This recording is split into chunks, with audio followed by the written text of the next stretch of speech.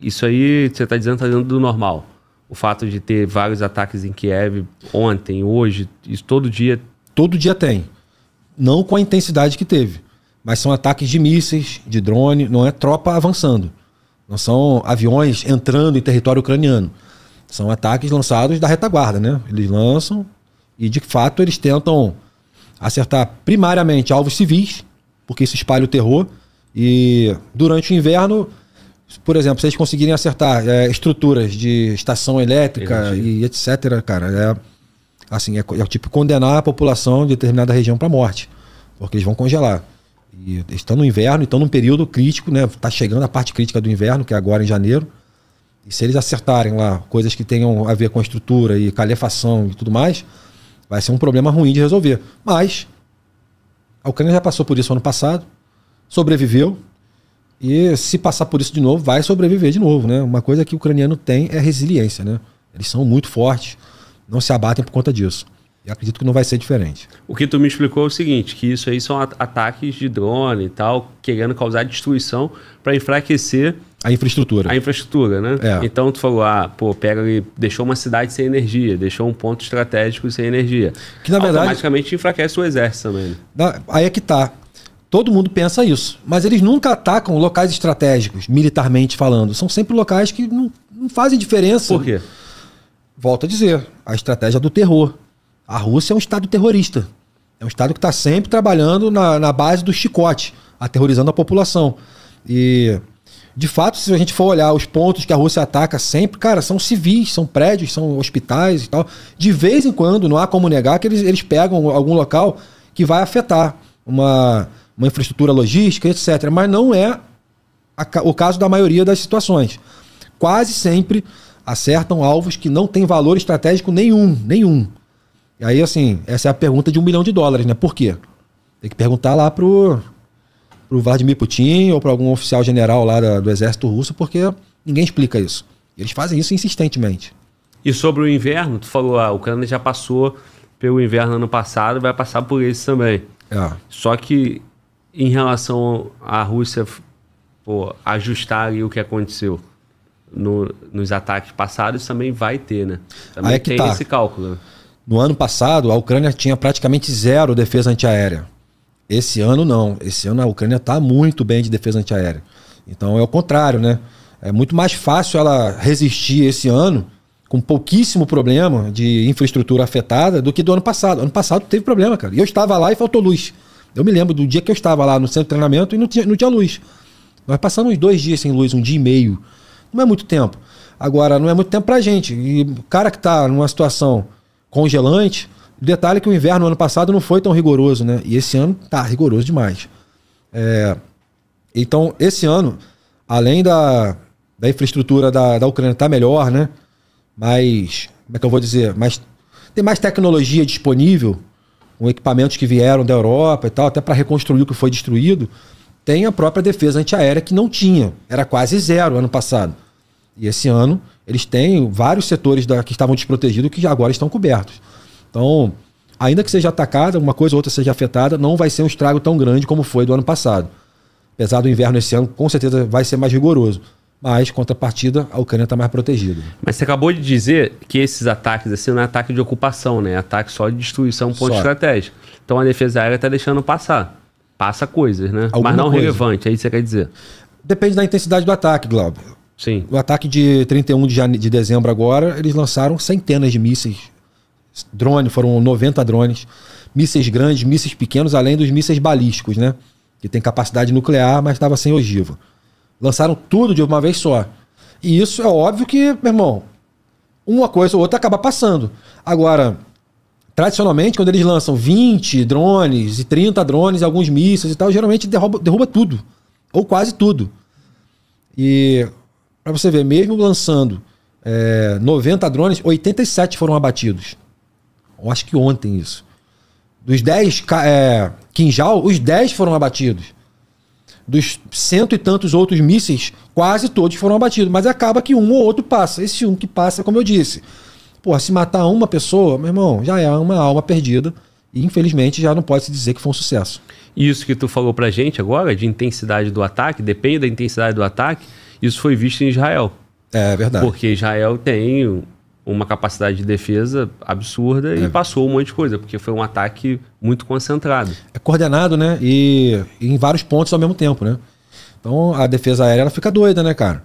E outra, uma vez que você utiliza, por exemplo, o Patriot, ele tem uma capacidade de quatro foguetes. Se não me engano, se não me falha a memória. Uma vez que você usa os quatro foguetes, né, que geralmente ele é usado para derrubar os quinjal da vida, você precisa de tempo para recarregar. Isso não é feito em cinco minutos.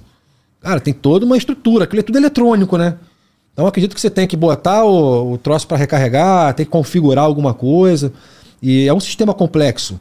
Não é igual, por exemplo, um sistema grade de lançamento de foguete, que é um caminhão que lança ali e acabou. O sistema Patriot são vários sistemas espalhados ao entorno de um, de um, do ponto que está protegendo e tem uma carga de quatro mísseis para abater né, o, de uma contrabateria, vamos dizer assim. E quando você usa os quatro, você precisa de um tempo para recarregar. Se o ataque acontecer nesse tempo que ele está recarregando, você fica com, uma, com a área descoberta. Por isso que eles tentam lançar vários foguetes ao mesmo tempo e tentar pegar desprevenido, né? Aí vai caber aí a Ucrânia posicionar bem os sistemas de defesa antiaéreo e escolher bem qual míssil ela vai abater com o sistema Patriot. Ela não pode usar o Patriot para qualquer coisa, para derrubar, por exemplo, um drone Shahid. Sim. Porque você está falando de milhões para derrubar um troço de uns sei lá quantos mil. Né? E é esse ponto aí que deixa, que deixa esse conflito mais paralisado, que chega naquele impasse ali que a Ucrânia tem que avançar para retomar o território, né? Porque a Rússia pode simplesmente optar por não tomar novos pontos e manter posição de defesa no que já está dominado. Pode, é uma opção da Rússia, manter, congelar e ficar ali e não mandar mais avançar. Mas aí perde o sentido da operação especial, né? A dita operação especial, que é invadir ou ocupar o território e fincar pé e, se possível, avançar ainda mais. E é óbvio que os ucranianos não vão ficar olhando. Não, então eles ficam lá, a gente fica aqui. Se a gente parar para analisar o tempo todo, em algum lugar a Ucrânia está tentando avançar ou segurando posição. E vice-versa. O tempo todo, em outro lugar, o russo está tentando avançar ou segurando posição. A Rússia tomou agora uma cidade há pouco tempo, Marinka. Perdemos a cidade. E está muito ligado ao que o Zalushny falou. Você, quando tiver uma proporção de perda né, quase empatada, está morrendo 10 russos e 10 ucranianos. Não vale a pena, recua. É o que está acontecendo. E a gente vai ver isso em outras cidades acontecendo daqui para frente. Até a conclusão do projeto do Zalushny, que, segundo ele, ele já tem a solução para os problemas que ele detectou agora nessa ofensiva que não foi sucesso 100%. Mas, no, no ponto de vista estratégico dele, foi sucesso. Porque ele já identificou os pontos fortes e fracos da linha de defesa e onde ele tem que melhorar e o que ele tem que fazer para obter o sucesso no, no, no, contexto geral da guerra, que é a vitória. Segundo ele, ele já sabe, né? Obviamente essas coisas não divulgam, mas como eu disse, eu repito, aposto que a Ucrânia agora vai atacar o sul, vai cortar aquilo ali com tudo que tem. Já teve gente no chat me chamando de Russete, cara. Olha só que, é que situação Mas que eu... tu tem cara de Russete mesmo, meu irmão. E se eu, se eu confirmar essa informação, eu não volto mais aqui, meu irmão. Brincadeira. que, que, que coisa, hein, cara? Tá vendo o que, que sobra pra mim? Mas é porque. Não, eu, brincadeira. Eu, eu, escuto atentamente. O papel é ser neutro. Não pode ter lado, né? É, eu escuto atentamente qualquer análise. Mas se puder falar mal dos russos, fala, assim, como, deixa ninguém perceber, mas fala mais é, ou menos. Eu acho que, que não, não, é o caso, né? de nenhum dos lados. Verdade. Mas eu, eu fiz essa introdução, já teve gente me chamando de, de Roussetti. E eu vou falar agora, vão ter mais, né? Sim. Então eu quero que você entenda o seguinte. Você falou que o general fez essa análise, né? E ele disse que, que ele tem a fórmula para a segunda contraofensiva e sair mais positiva. Sim, foi o que Mas também, disse. por outro lado, ele não falaria, né? Pô, eu fracassei e, e a contraofensiva foi, foi ruim e ele perder todo apoio, perder todas as condições. Foi bom tu falar isso. Ele não falou. Sou, não sou Roussetti, não, né? Só fiz para tá te dar mas eu vou responder. de eu falar não, não, mas isso. foi bom você falar isso. Muito pelo contrário. Ele fez um discurso bastante interessante e ele reconheceu várias derrotas, tá? Isso tem duas semanas, foi agora. Ah, na, na semana da, da, virada do ano. E ele falou: nós não fomos né, como esperávamos na ofensiva, erramos em vários aspectos, e mostrou os prós e os contras, e etc. E foi bem interessante porque mostrou que é um cara que está com o pé no chão. Diferente dos generais da Rússia que tentam sempre mostrar a vitória e nunca falam a gente recuou porque a gente tomou porrada ali. Fala, não, a gente fez um avanço estratégico para trás, a gente avançou para outra posição ali porque era melhor. Mas nunca fala, não, a gente está perdendo muito homem, vamos recuar. Nunca eles admitem. O general não, ele falou, e ele falou mesmo, cara, perdemos várias posições, perdemos vários homens, e foi inclusive nesse dia que ele falou. Quando a gente tiver uma proporção de perda quase igual a do russo, recua. Agora o nosso principal foco é o soldado e não o território. Porque sem soldado você não recupera território. Quem quiser pode assistir, tá aí nos canais de YouTube da vida, a entrevista dele falando. Foi mais de uma hora ele falando na televisão ucraniana lá. É, e com avançar do conflito, quanto mais tempo, mais Chico está de soldado. É. Então tem que levar isso em consideração. Verdade. Inclusive, o número de civis, né? Aí eu não sei se essa informação procede, mas eu já vi gente citando, inclusive no chat hoje, mulher grávida indo, indo, indo pro front. Acho Só que, vai se quiser. é outra isso... grande falácia, bando de mentiroso falando ah, a Ucrânia tá mandando adolescente de 15 anos pro front. Tá obrigando as mulheres a irem pro front. Não tá não, isso é mentira. As mulheres que estão indo vão porque querem. Se está grávida ou não está grávida, eu não sei, é outra história. Agora, inclusive o, o Volodymyr Zelensky, ele vetou. Porque o, o plenário estava querendo botar em votação lá de obrigar as mulheres a irem para o fronte. Se chegar a um determinado limite da capacidade da Ucrânia. E ele vetou, ele falou: não, isso não. Obrigar as mulheres a irem, não. Elas vão se quiserem, como vão muitas, né? E, por exemplo, estavam querendo abaixar o limite da mobilização lá, de o cara ser obrigado a ir para a guerra de 27 para 25 anos. Não sei se conseguiram. Foi outra coisa que o Zelensky vetou também. Falou, não, obrigado a partir dos 27, a não ser quem é o garoto que está servindo, idade militar normal, mas de 27 para 25 anos, não. Porém, se ele aprova isso, ele já resolveria o problema dele de mobilização.